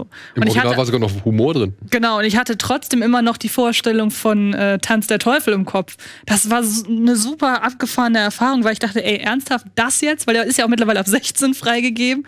Aber was ich zu diesem ganzen öffentlich-rechtlichen und Fernsehen generell noch sagen kann, ist, ich habe irgendwann gemerkt, dass ich halt super zart beseitigt bin, was Horror angeht, sodass ich den halt, ich habe lange Zeit Horrorfilme gelesen und nicht geguckt. Und ähm, ich erinnere mich an einen Abend, wo ich habe dann immer in den, in den Fernsehzeitungen geguckt, bei welchen Filmen stehen Horror, steht Horrorfilm drunter. Dann wollte ich mir die immer angucken. Meistens bin ich vorher eingeschlafen. Aber einmal gab es, es gibt von Stephen King eine Verfilmung von Thinner. Ja. Und dieser Film fängt damit an, das weiß ich immer noch. Ich habe den auch seitdem nicht nochmal gesehen, aber ich weiß es noch. Hab ich in der Sneak gesehen übrigens. 15 Jahre her oder so, wo eine alte Frau überfahren wird. Und dann sieht man in Nahaufnahme die Windschutzscheibe, da klebt Blut drauf und äh, die, die Scheibenwischer wischen hin und her. Ab da konnte ich nicht mehr, weil da so ein gruseliger Soundeffekt drauf war. Das war dann für sehr, sehr viele Jahre mein letzter Versuch, Horrorfilme zu gucken unter meiner FSK-Freigabe. Aber hast du nicht Meet Joe Black gesehen? Nein, habe ich bis heute nicht gesehen. What? Nein. Also das hätte ich jetzt nicht gedacht. Also, bei, das bei könnte mir aber- waren das, Aber nicht, weil er mir zu gruselig war. nein, nein, aber weil du ja generell, sag ich mal, dem Schmonz nicht abgeneigt bist. Durchaus. Das äh, und Meet, Meet Joe Black ist ja schon so ein Aber der ist doch bisschen. so mega lang. Ist das Ja, aber das ist Ah, aber- mega langer Schmonz. aber es ist halt schon der, der, der Olymp des Schmonz. Ja, aber- aber er hat und die beste, so aber er hat die beste Todesszene, glaube ich, die ich jedem Film gesehen habe. Den habe ich auch in der Sneak gesehen übrigens. Und ähm, da wird ja Brad Pitt, das ist jetzt kein großer Spoiler direkt am Anfang, wird von äh, ungefähr drei Autos Die überfahren. ging doch Und neulich er, viral er geht über die Straße und Szene. jetzt so bong, bong, bong. und ich weiß, dass ich fast jubelnd aufgestanden bin im Kino, weil ich die Szene so gefeiert habe, weil es ist so fantastisch inszeniert. Ähm, Ja, ich wie der hab da die- ich hab die- quasi Limbo-mäßig. Ja, ich habe die Szene wird. neulich gesehen. Im, äh, die ging mal wieder viral offenbar, weil ich habe dann mal gefragt, was es mit dem Film auf sich hat. Dann hat man mir erklärt, ja, das ist immer so jahresweise. Mal finden den ganz viele gut und dann entdecken wieder ganz viele, wie furchtbar der eigentlich ist und dann finden den wieder ganz viele Scheiße. Und ich wäre anhand dieser Szene niemals darauf gekommen, dass das wirklich als Film existiert. Also das sieht schon sehr absurd aus. Man hat sich auch echt gefragt, warum dieser Film so lang ist und was sie sich alle dabei gedacht haben. ich habe damit äh, was anderem vorlieb nehmen müssen. Das äh, fällt mir jetzt gerade wieder ein. Nämlich, es gibt noch einen Film, den ich häufiger gesehen habe als Vertigo, und zwar Dirty Dancing, aber nicht freiwillig. Es war nämlich so, Du hast nicht freiwillig Dirty Dancing über 50 Mal schauen müssen. Unfreiwillig, jetzt wirst du, Jetzt bin ich was, gespannt. wurde ich gefoltert oder was? Nein, es war so. Ähm, in der Nachbarschaft waren äh, viele äh, Mädels, die waren so zwei, ja, drei, vier Jahre älter. Und mit denen hatte man immer so viel zu tun.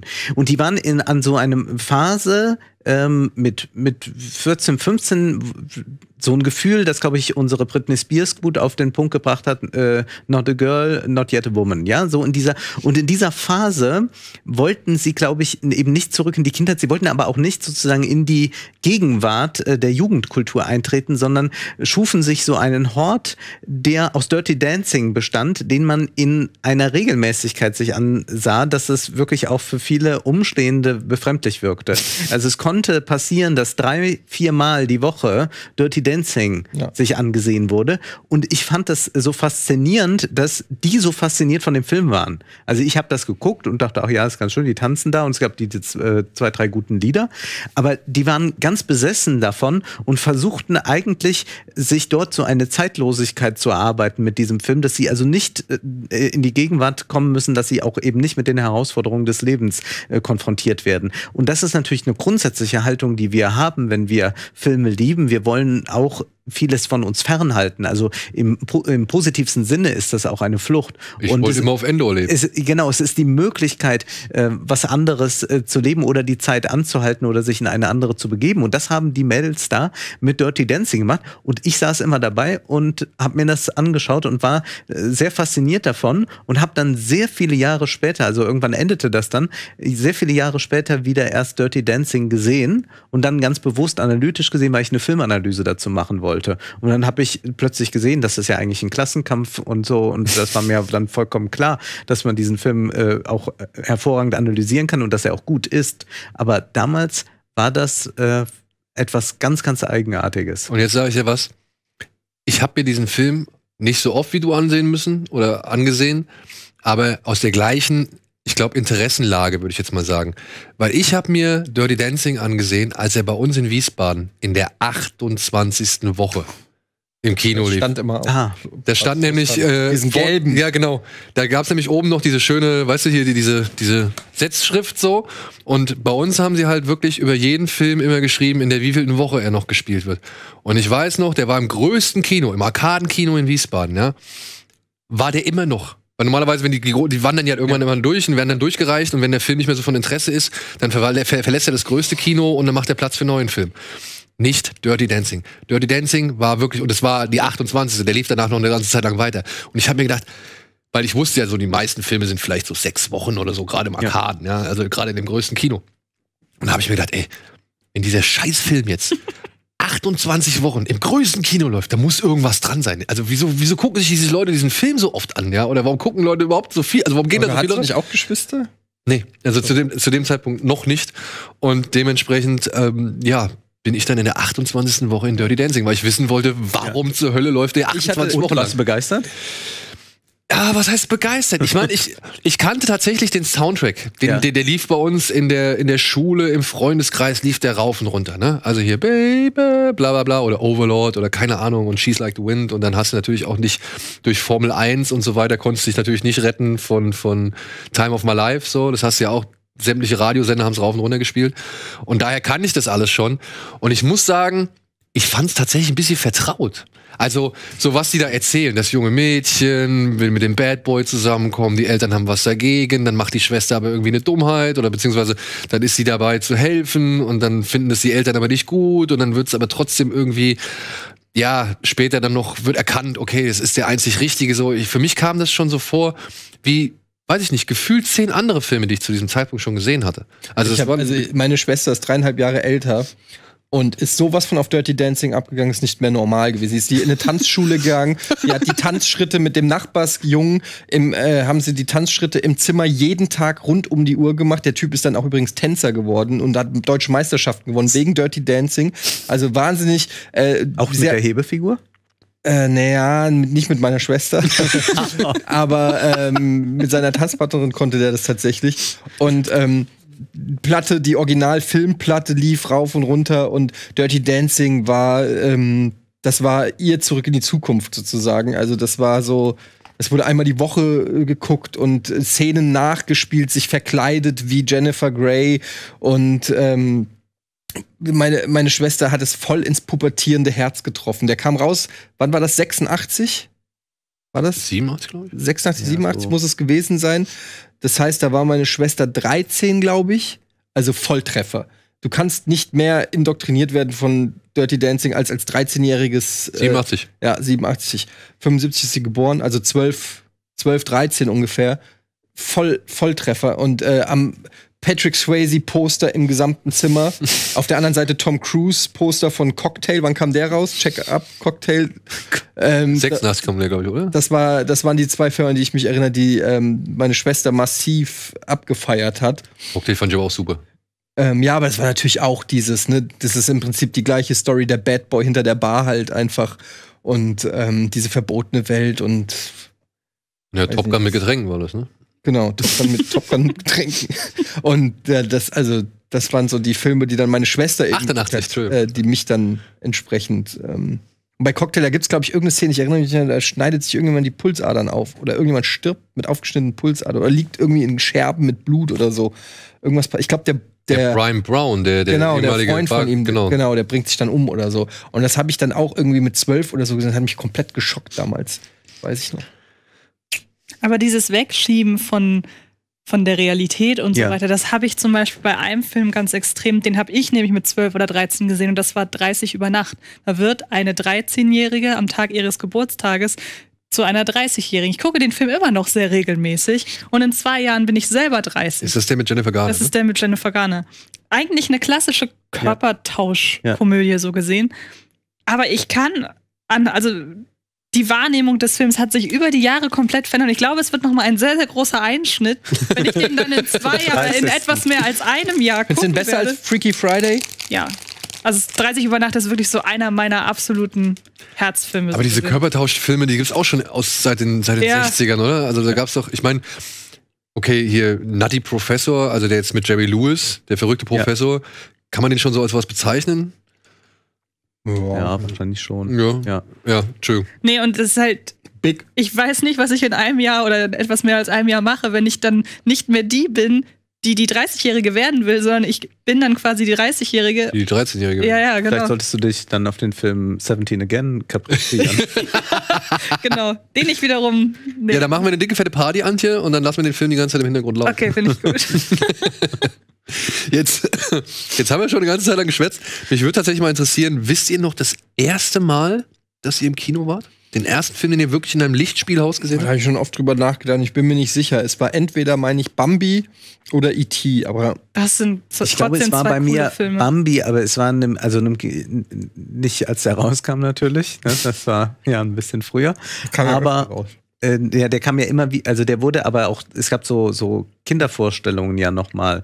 Und da glaube ich, war ich in Bambi oder in irgendeinem anderen Kinderfilm-Klassiker, Zeichentrick-Klassiker. Kapp und Aber Kappa? das hat, aber es hat mich nicht so, also ich, es hat mich offenbar nicht so geprägt. Also ich kann mich nicht dran erinnern und kann auch nicht sagen, ich habe äh, dann auch geweint in Bambi, was man ja immer dazu sagen muss. Aber ich glaube ich nicht. Und ich bin heute froh, dass ich so eine große Distanz zu solchen Disney-Werken einnehmen kann. Weißt du das noch? Ich glaube, meins ist mega uncool. Ich weiß aber immerhin noch die allererste DVD, die ich besessen habe. Ich sag trotzdem das Uncoole erstmal. Und zwar, es gibt doch, das wissen wir ja äh, jetzt erst recht, es gibt doch manchmal diese wirklich für ganz, ganz kleine Kinder so Zeichentrickfilme, wo manchmal, keine Ahnung, wo manchmal einfach nur Serienepisoden von einem, von einer Serie aneinandergereiht werden und dann verkauft man das als Kinofilm. Und ich glaube, es gab mal so eine Zeichentrickserie von Pipi Langstrumpf. Da wurden drei Folgen aneinandergereiht, dann kamen die ins Kino. Man hat gesagt, wir haben Pipi Langstrumpf Zeichentrickfilm. Ich glaube, es war sowas ganz Furchtbares. Nicht sowas Cooles wie E.T. oder Bambi. Das ist nüchtern. Meine Mutter behauptet, ich habe E.T. zum allerersten Mal im Kino gesehen. Das ist cool. Nee, und die allererste DVD, die ich ich besessen habe, 82. ist äh, 84, oder? 82. Ja, okay. und die allererste Ja, vielleicht in Deutschland 83. Aber. Und die allererste DVD, die ich besessen habe, war aber der Simpsons-Film. Das müsste 2007 oder so gewesen sein. Da habe ich, ich habe nie Simpsons geguckt, war aber plötzlich der Meinung, ich müsste den Simpsons-Film gucken. Und dann habe ich den geschenkt bekommen. Ich glaube, meine erste DVD dürfte Pulp Fiction gewesen sein. Aber Pulp Ihr Fiction seid- oder Terminator 2? Ihr seid alle viel cooler. Also meine, eine meiner ersten, also ich glaube, ich habe drei Stück direkt auf Anhieb bekommen. Das eine weiß ich, was war Matrix. Oh, das ist auch ein. Ähm, das andere war Einer flog übers Kuckucksnest. Was weiß ich noch? Das waren nämlich diese Warner Papphüllen, die noch diesen Umklapper da haben. Mhm. Und es war, glaube ich, noch ein Film. Ich glaube, es war Blade Runner. Das waren meine ersten drei DVDs. Aber da war es halt auch schon so, weißt du, okay, das sind DVDs, aber da war ich schon so im Sammelfieber. Da hatte ich halt schon tausende VHS-Kassetten. Ich weiß Und dann- nicht, was meine. Weißt du noch früher, Longplay? Ja, klar. Äh, Vier Filme auf eine VHS, äh, aber kannst super. du dann nicht mit einem Freund ausleihen, der nicht Longplay hat. Genau, du brauchst einen Videorekorder, der Longplay hat. Dann kannst du nämlich halt aus deiner vier Stunden Bandkassette kannst du acht Stunden machen. Das heißt, es passen also vier ganze Filme auf deine VHS-Kassette. Man hat mir nur gesagt, es ist halt leider ein bisschen qualitativ, muss man da ein paar Einbußungen hinnehmen. Ja, kann gut sein, aber auf VHS-Kassette war es eh alles scheißegal. Und ja, das war so auch unsere, unser Allheilmittel. Longplay. Also ich habe früher auch Filme noch auf Videokassette tatsächlich aufgenommen und mitgeschnitten, aber davon habe ich noch nie was gehört. Nein? Nee. Ach, großartig. Aber ich habe wahrscheinlich auch so die letzten drei, vier Jahre der Videokassette wahrscheinlich noch mitbekommen und dann auf DVD gebrannt. Und was war dann, jetzt nochmal ganz zum Schluss, was war so ein, eine Sternstunde im Kino, wo man gesagt hat, ey, geiler Film oder, oder geiles Erlebnis. Also das, das ist jetzt ein Moment, weshalb ich ins Kino gehe. Oder das war jetzt ein, ein, ein Film, weshalb ich ins Kino gehe. Das war eine richtig schöne Vorstellung oder es war irgendwie, der Film war so herausragend. Oder der ganze Tag hat schon so gut gepasst und dann kommt am Ende noch der Film dazu oder irgendwie sowas. Habt ihr da sowas? Verschiedenes.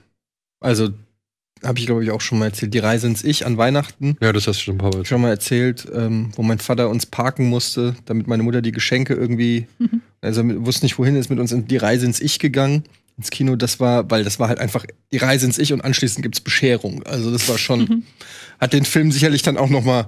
Es kann auch gerne ein schreckliches Erlebnis sein, ne? Also nur so halt so einfach mal. Jurassic Park im Kino hat mich schon umgehauen damals. Das war so ein so ein Ding, wo ich aus dem Kino gegangen bin und gedacht habe, okay, irgendwie hat sich was verändert.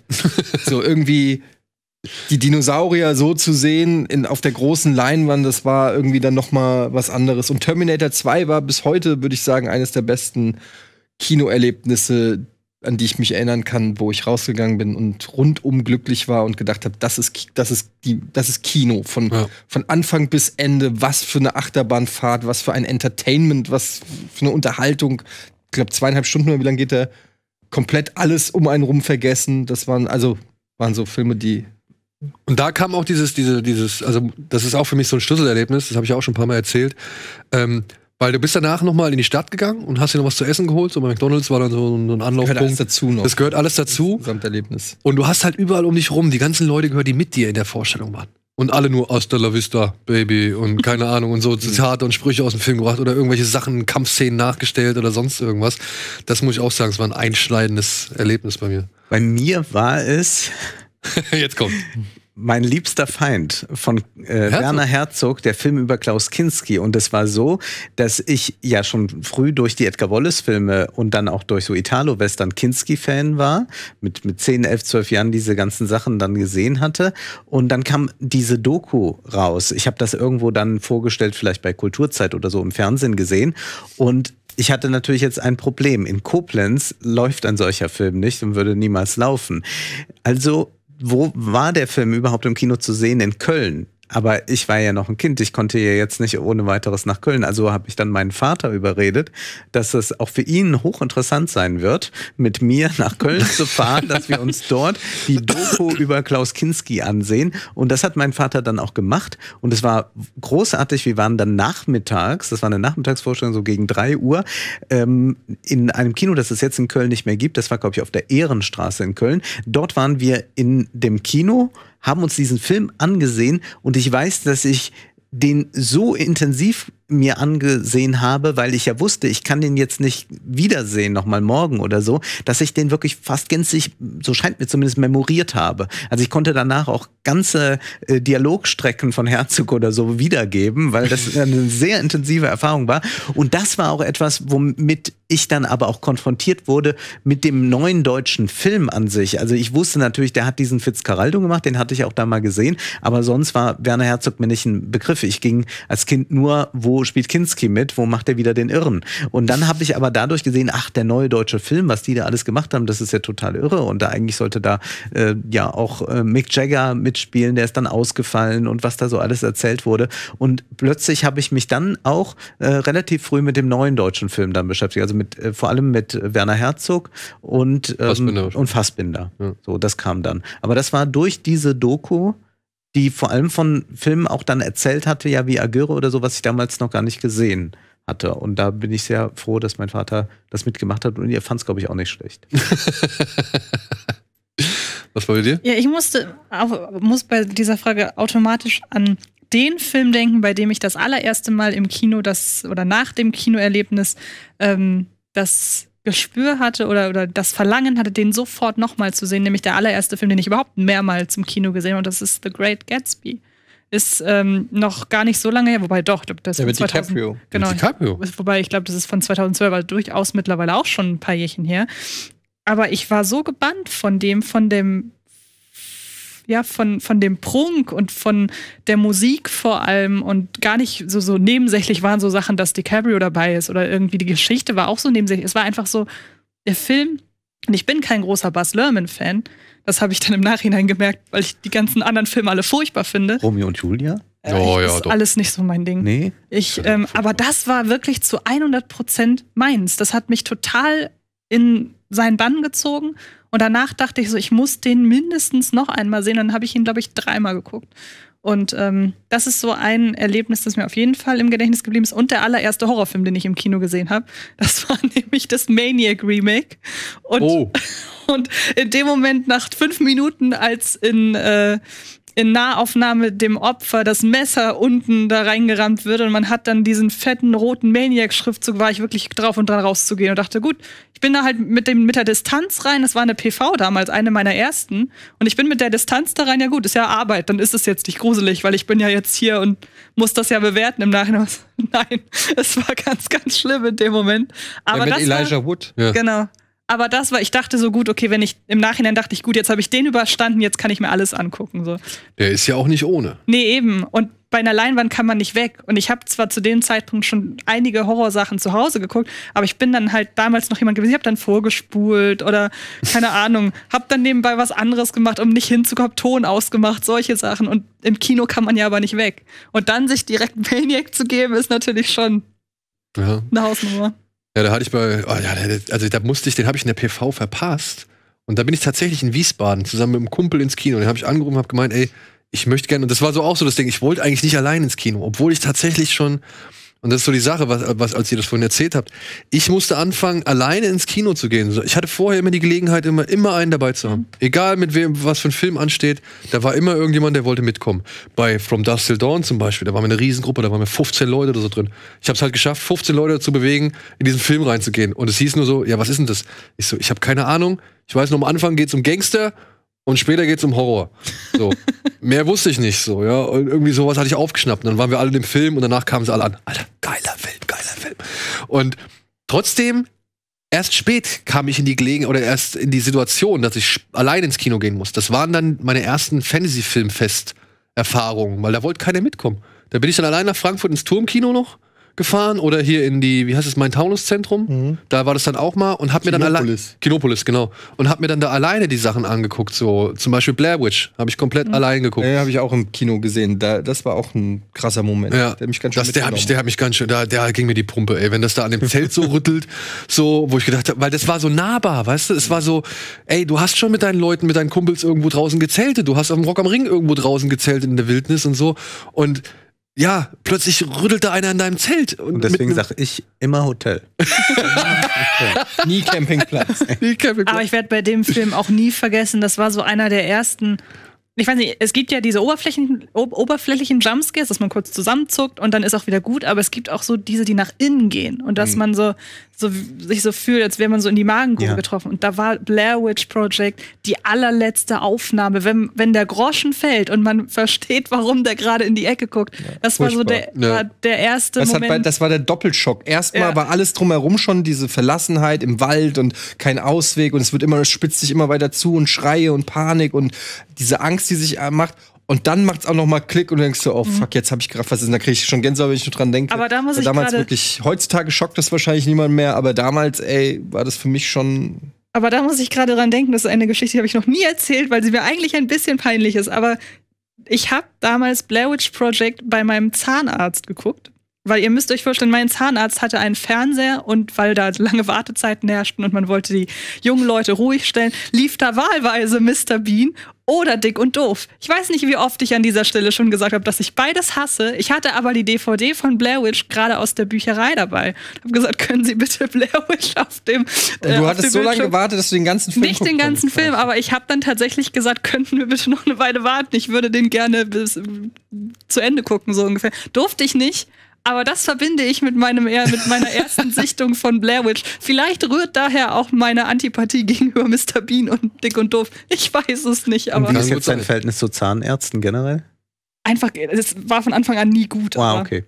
Aber das muss, das das muss. jetzt cooler Zahnarzt. Project jetzt nochmal. Seitdem denke ich, Oder? mein Zahnarzt ist eine Hexe. Gucken wir mal eine DVD einlegen. Kann man eine DVD anlegen. Ja, wie gesagt, und dann habe ich halt äh, den, den Maniac musste ich dann in Wiesbaden gucken. Mhm. So, da habe ich ihn angerufen, habe gemeint, hast du Bock? Und dann, wir saßen wirklich, wir saßen zu dritt im Kino. Ich glaube, außer uns beiden war noch einer da. Na, warst froh, dass du ihn erwischt hast. Ja, ja, und ich war wirklich froh, dass ich ihn erwischt habe. Ich fand nämlich echt gut. Ich fand Mhm. den nämlich echt gut. Ja, Wollen wir, wollen wir Feierabend machen? Ja, sonst reden wir noch zehn Stunden. Ja, genau. Aber war doch mal ganz nett. Haben wir doch Über mal. alle Filme, die ich hier im Kino arbeite. Ich glaube, wir haben heute sehr viel Lust auf Kino gemacht. Ich freue mich, glaube ich, jetzt noch mehr, dass ich heute Abend den Scorsese im Kino sehen kann. Aber das freut mich, dann gibt's keinen Verriss. Und ich mag das nicht, wenn, Nein, du, nein, nein, nein. wenn du Filme Nein. verreißt, die ich mein mag. Lieber, das fühle ich mein mich Lieber, schlecht. Da lasse ich mich ja nicht beeinflussen. Wenn ich jetzt Ja, heute ein. aber schön, wenn ich ein bisschen beeinflussen. ich, nein, nein, nein, nein. Ich versuche natürlich, äh, das meine persönliche Gefühlslage rauszuhalten. Ja. Auch bei einem Scorsese. aber geh doch mal da ganz offen rein und denk dran, dass Naja, ich den meine- sehr mag. Meine, meine Offenheit ist ja ohnehin, dass ich ein sehr großer Scorsese-Fan bin. Ja, aber da ist auch das Potenzial für Enttäuschung natürlich. In der Tat. Ich gucke einfach nachher ich Witch Project. Dann Also ein echter Scorsese. Und wir hätten so gerne, ich hätte noch so gerne heute über ein wilder Stier gesprochen. Auch ein, ja. Ja. Und ich habe extra Two Lane Blacktop noch mal geguckt. Den wir gar nicht hätten drangenommen. Ja, habe ich aber trotzdem geguckt. Guter Film. Okay, in diesem Sinne, Wolfgang, ich hoffe, wir konnten dir zumindest. Das war schön. Das Ja. war doch ein herrlicher Zeitvertreib hier. Cool. Also, das äh, ist hoffentlich eine Dafür kleine komme ich doch Schädigung. gerne mal. Aber wir holen das nach mit dem New Hollywood. Wir holen das holen nach. das mit dem New Hollywood auf jeden Fall nach. Wahrscheinlich kommt die Ausgabe, die wir hier gesendet haben, wahrscheinlich eh später als das New Hollywood Special. Äh, wer weiß es. Man weiß. Danke, Antje, für die Inspiration und dass du auch nochmal dabei geblieben bist, nachdem wir schon eine Folge aufgezeichnet haben. Danke, Eddie, dass du trotz deiner Kondition äh, nochmal ne, durchgehalten hast. So. Und an euch, vielen Dank fürs Zuschauen und ja, geht ins Kino, bitte, bitte. Schaut Serien, schaut RBTV und wir sehen uns beim nächsten Mal. Tschüss.